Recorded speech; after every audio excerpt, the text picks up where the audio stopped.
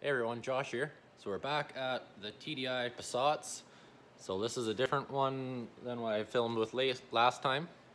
Uh, I did heater core in the last one, so this one, you obviously clicked on the link, so you know it's getting a timing belt. Uh, it also has heater core issue. Um, in my last heater core video that I'll put a link up there, there somewhere, um, I just basically outlined that we have, that there's a known issue with the Passat heater cores, and this one has that issue as well. So it's a little less kilometers on it than the other one, but I don't know if it's been replaced, so we'll wait and see. I might have a part two to that heater core video. Uh, I've got a filter idea to try and get some of that gunk out and hopefully prolong heater core life. So yeah, if I end up filming a part two, I'll put a thing up here somewhere. So we're doing a timing belt, full timing belt kit on here. So I'm gonna outline special tools you need, what you need for the kit, and obviously how to do it. So let's get started. So first off, we're gonna cover off parts. So you can get a kit from your favorite online retailer. So this is a Continental kit from ID Parts. So it comes with your belts. Litens tensioner is what you want. Pulleys. Nice little paper with all your torque specs that I'll take a picture of here shortly. Uh, it's got a Giba or Geba however you want to say that, water pump. It's got a steel impeller or metal impeller. Um, you can also go with plastic, that'll be what's from factory. Got the pros and cons and it's been debated to death on which way to go, so you make your decision from there. ID Parts has all these bolts, which I'm hoping I don't need all of them. You can also get extra uh, stud for the tensioner and harmonic bolts which I live in Ontario, so everything's covered in salt and sand, so better to need them, or to have them and not need them versus need them and not have them. So that's it for parts. I'm gonna need coolant. I've got roll concentrate. You can also be fancy and get uh, Volkswagen uh, premix. So with this concentrate, it's obviously G13 compatible. You need to get distilled water to mix it 50-50. And yeah, that should be it for parts. So as far as tools, there's a right way and a less right way to do it. Um, you can do the mark and pray, which you mark the belt, mark your all your gears on your engine, and then just transfer the marks over to here and make sure that you put it on the right way. Um, that'll kind of work if you're uh, good with paint markers. The other option is getting the lock tools, which um,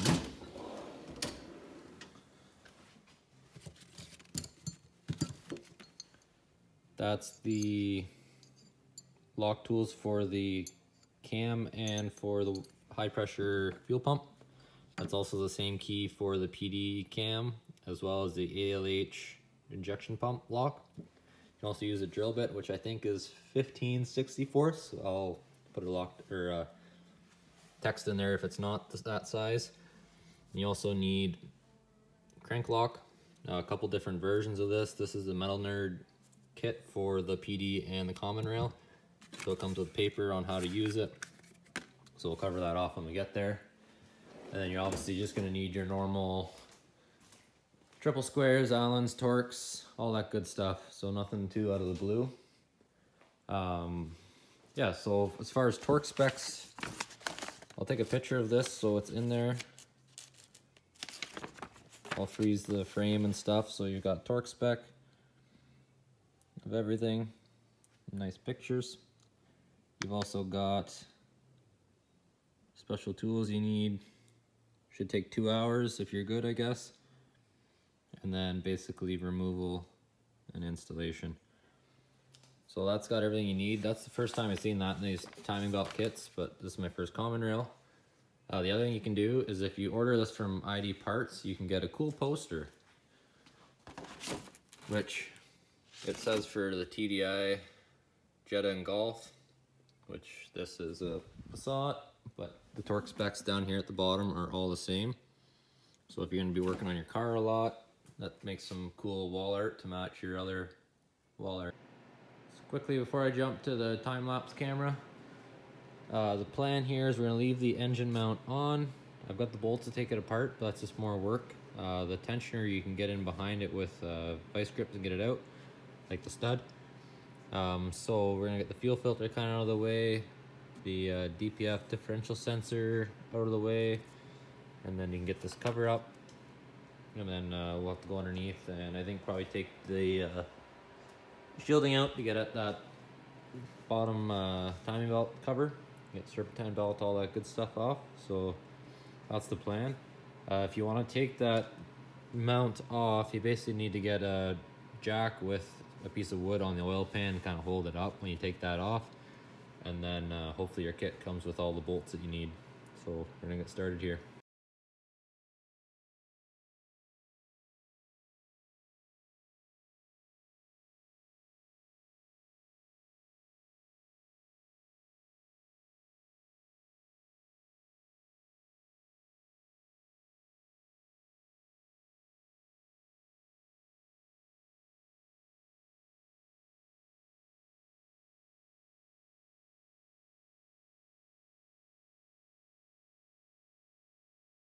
So a quick recap of where we're at.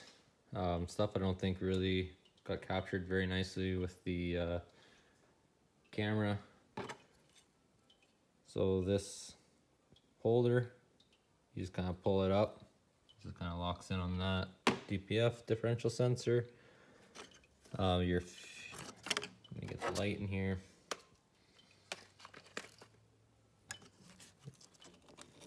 This one, same kind of deal. This top piece that hooks onto the fuel filter, if you pry it up and then push the whole thing down, it unhooks from your fuel filter there. I'm gonna unbolt this, probably get that out of the way so that I can get at the pump easier.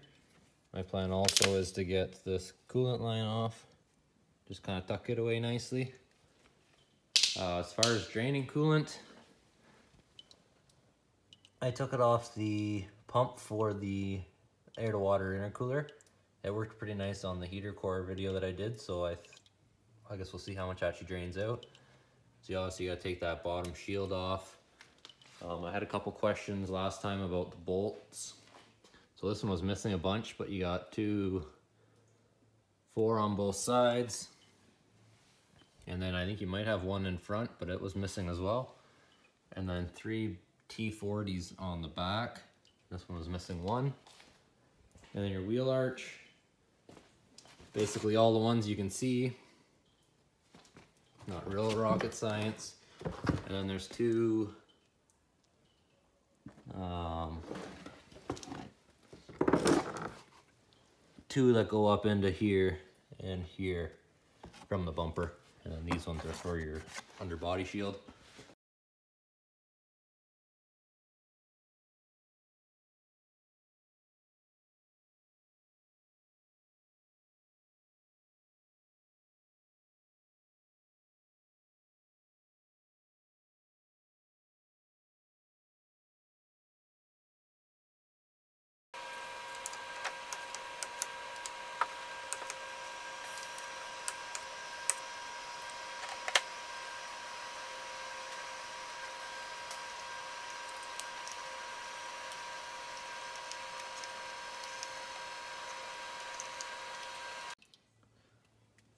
So now we're underneath, so this tensioner, I'm not sure if this is the right way, but this is the way I'm gonna do it. So if you like that, if I had a spare hand, you get the belt off. Um, triple squares in here, as you can see, nice and rusty. And then there's the covering behind there. I guess we'll take a look at it when I get there. So I got this dampener off. So the pulley was a little rusty.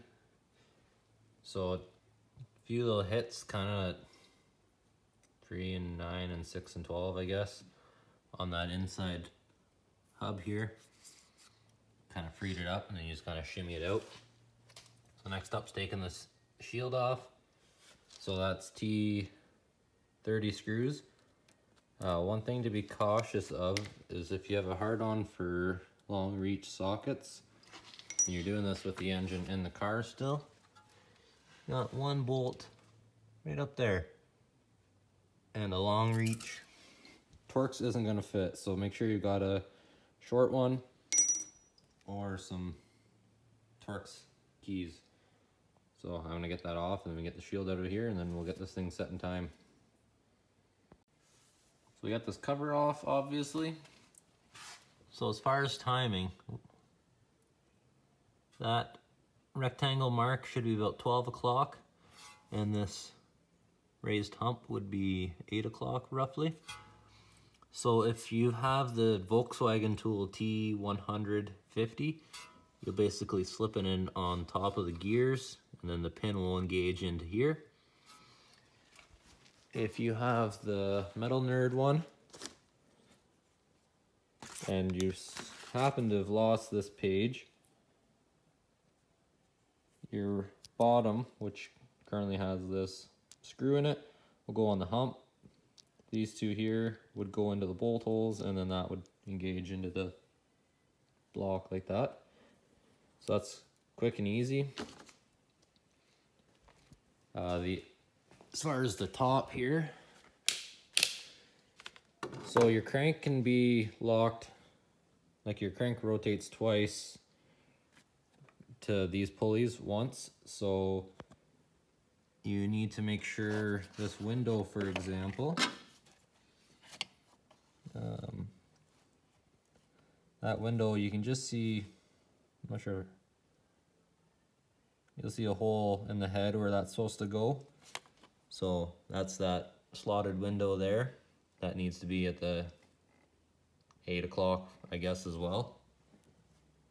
And then, yeah, you can kind of rotate it around if you have a mirror. I don't think I can get it any better of a picture than that. And then your pump.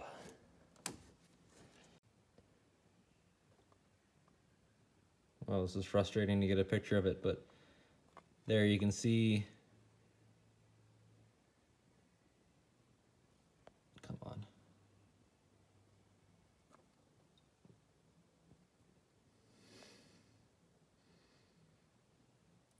So you can see the hole right there and then you've got that little fork U shape. So that'll be the lock for the pulley that goes into the head. So that's your lock for your high pressure pump. So if that's lining up and that one's lining up, you know you're on number one top dead center on the compression. So that's where you want to be so you can put your locks in. But before I do that, I'm just going to crack these loose these three here, as well as the three on here. And that way I don't have to have the counter hold tool. I can just use the compression of the engine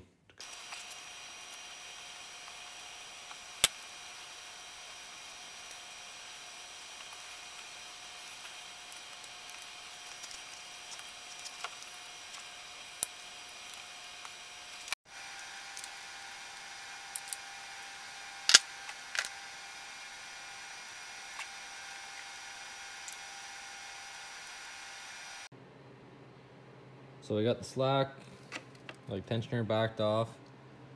So go right counterclock, yeah, counterclockwise, hits a stop. So that's pretty as loose as it can get. You can put a five mil Allen in that spot right there.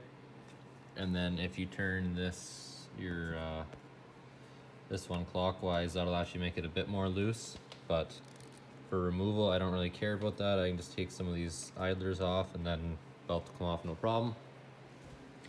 Um, this new one, I believe, we'll just use the traditional triangle, whatever Volkswagen wants to call it. That usually comes with the tensioner itself, but it didn't this time. But yeah, it's just a small little chunk of steel. So we'll worry about that when we get there. So I'm gonna get the rollers out, get the belt out. I'm not sure how well this is gonna be picking it up, but um, the tensioner will be the big thing. So I'll make sure I switch to my phone and we'll uh, walk you through that.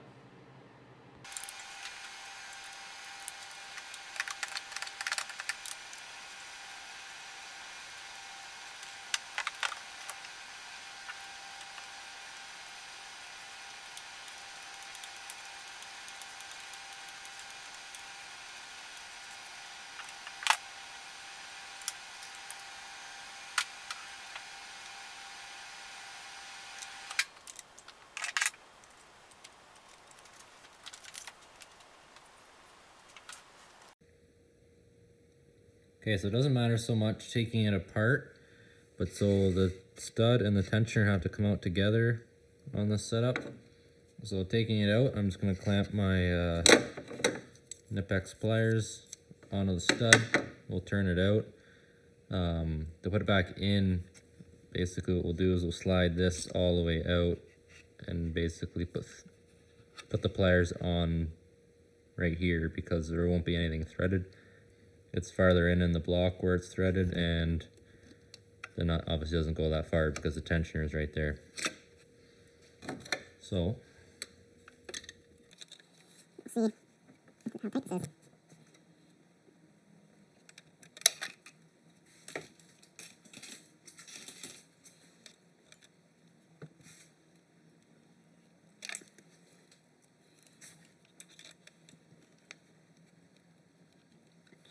Need bigger ones.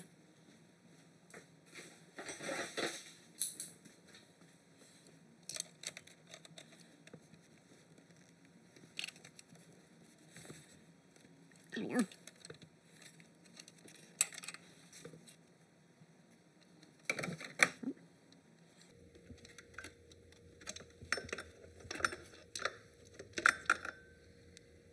looks like that. So when we're going back in, we'll set it like that or like that and we'll grab onto there because this part's the piece that goes in the block and that's where the nut goes. So the last of the old parts is this bottom tensioner as well as the water pump here. Uh, so you can just kind of look at the old water pump or the new water pump, figure out which where the bolts are and stuff. Looks like this one's been gooped up on the reinstall, so I don't think that's oil, I think that's that black aviation sealant stuff. So yeah, I'll take that off, take that stuff off off camera because I don't think I can really get a good picture of it, and then uh, start reassembling. So it's a good chance it's probably stuck, especially with that aviation sealant stuff on it.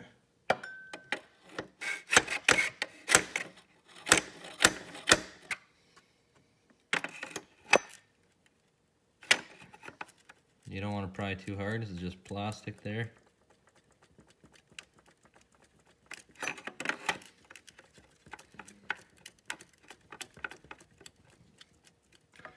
Let's see if there's something underneath I can pry on.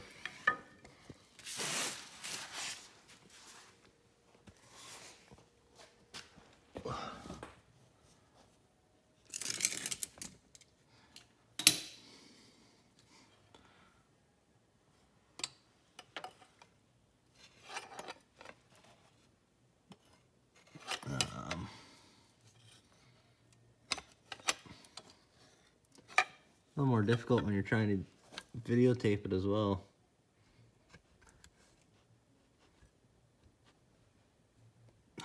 So underneath wasn't really working well. I didn't want to break the aluminum uh, cover there. So actually got it cracked loose here. I did is put the old bolt back in the top tensioner hole. Basically go down with the pry bar like that. And then you got something nice and sturdy to pry on.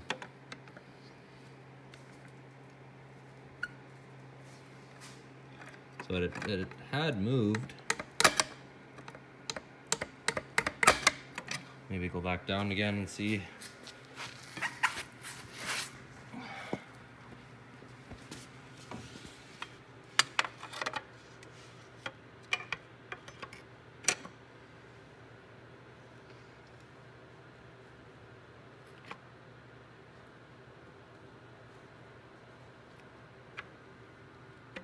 Man, this one's stuck. I got it out. The floor starting to dry up nicely. it went flying out and coolant went everywhere.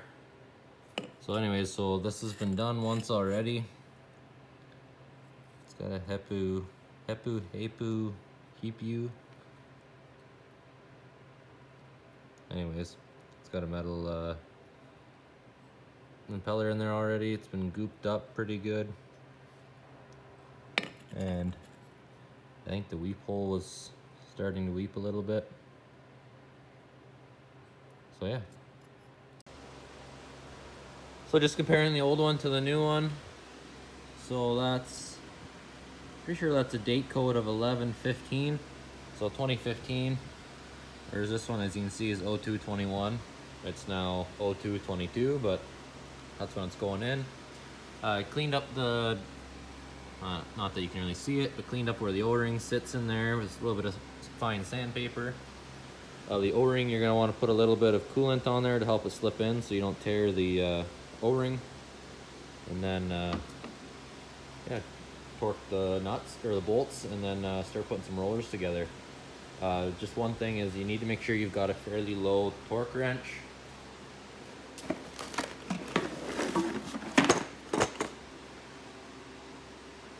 So this one goes down to five or 10 foot pounds because the water pump is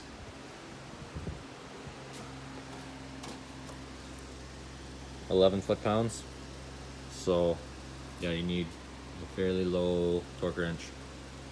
So just keep that in mind before you uh, start this as well. Okay, so we're gonna install this tensioner now. So that's how that stud's gonna go. That's your tensioning guide. Then you wanna make sure that tab is located in its home right there. So zoom back out. So I'm gonna get this filter out of the way so I can get in there with two hands. It might be kind of a tricky spot, let's give it a try.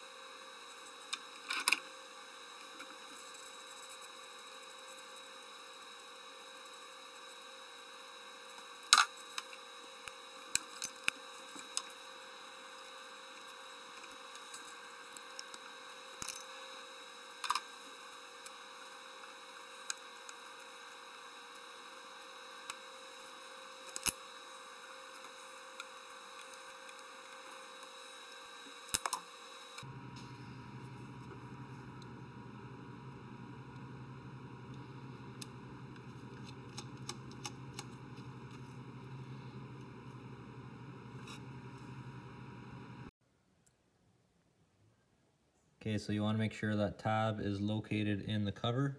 And of course, I hit the mirror. Um, there. Make sure that's located in there. If it's not in there all the way, you tighten it down, you're going to bend that and possibly break that tensioner. And then you won't be driving your car that night. So uh, yeah, make sure that's in there right. So now we'll get that tensioner slackened off and then snug the nut up and get some more of these timing components put in.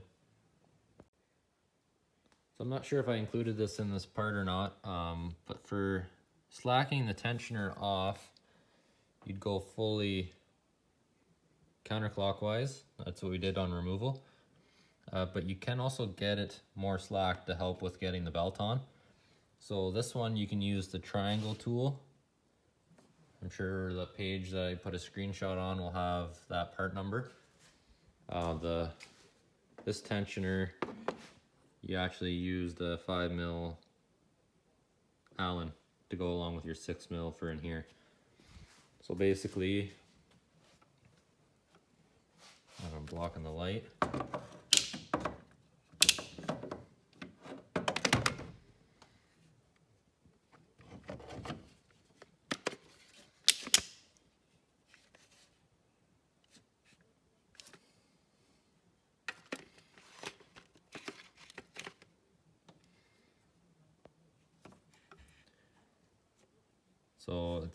Against it. And then you'll see your tensioner indicator is gonna move. And that's actually gonna slacken that off more yet. So that you can get the belt on. We'll snug that nut up. You get the belt on, you have more room to play with. And then you're gonna loosen that off, take that triangle out, and then go back this way without that triangle in to get the belt tensioned. So we're ready for the new belt. So all the new pulleys, new hardware, all that good stuff is on. You wanna make sure that you can rotate both of these pulleys. This one was actually seized and required a bit of persuasion to get moving again. Um, so they recommend installing it up the backside, the new belt. Um, I don't think it's too big of a deal. The main thing is you want to make sure this is more or less clockwise. The book recommends fully clockwise because when you tension the tensioner, it's gonna pull the belt this way and that's gonna obviously rotate them counterclockwise. Um, I don't think I'm gonna get too picky as long as they don't bottom out in the slots after it's tensioned. That's the main thing. Um, if they do bottom out, then you might want to jump a tooth on it and then uh, try again. So we got all three lock tools in. So cam, pump, and crank is top dead center. So you'll start down at the crank because that pulley doesn't move. Feed it up around and then these can move to where they need to be to make sure everything's set at top dead center. So we're gonna throw the belt on here now and uh, tension it up.